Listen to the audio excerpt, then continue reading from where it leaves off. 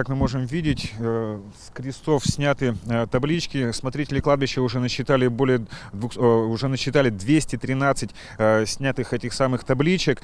Неизвестно, кому они могли понадобиться, потому что таблички, они даже сделаны не из какого-то дорогого металла, они просто пластмассовые. Горожане, навестившие своих почивших близких и родственников, ужаснулись, когда увидели, что произошло на кладбище. Елена Черняк пришла на могилу матери и также не увидела табличку с именем на кресте. Могилы остались, по сути дела, безымянными. Ну, я даже не знаю, это, это вообще ни в какие рамки не лезет. Это нормальным человеком не назовешь. Это какие-то сумасшедшие люди, которые вообще даже не боятся наказания свыше. Все произошло накануне поминальной субботы, в пятницу 13 марта. Уверяют сотрудники кладбища, они осматривали территорию, все было в порядке, а уже на следующий день табличек не досчитались. 213 табличек снять с крестов, это тут целая бригада работала.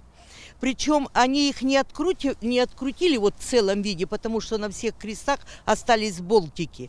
А, видимо, ломали их и не бросали. Хулиганы бросали в могилу. А это снимали и вывезли все с кладбища. Мы даже все мешки прошли, прощупали, которые вот на свалке у нас. Заведующая кладбищем уверяет, обращалась даже на предприятие по переработке бытовых отходов, но там развели руками, ничего не видели. Вандалов теперь ищет полиция, заявление уже написано. Жена зарегистрировано заявление, проводится проверка по данному факту.